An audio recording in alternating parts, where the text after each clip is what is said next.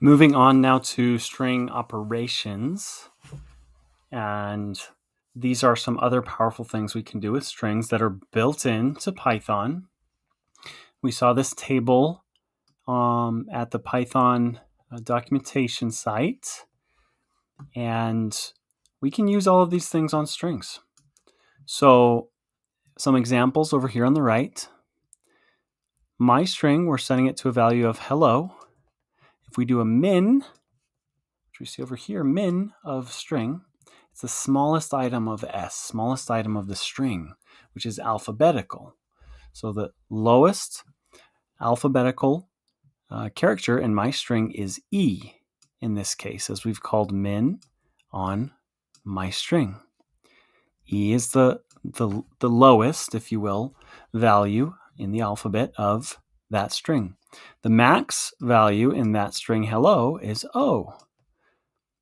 The length of my string is five characters.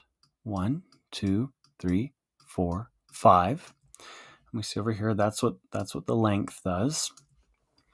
Uh, we can count the number of occurrences of a character. My string dot count that returns two letter L's. We can multiply our string by itself. My string times two is hello, hello. So it creates a new string there. And we can also see if a character is in my string. Is the letter H in my string? That is true. Again, we'll get more into booleans, this true or false value later on in the course. So don't worry about that too much right now. But I just wanted to show you there's a lot of these operations. I wanted to make sure you're aware that they exist so you're not trying to uh, write these functions yourself, these methods and operations on strings. They can be extremely useful, and you need to be aware of, of many of them. Uh, more, the more you learn about them, the better.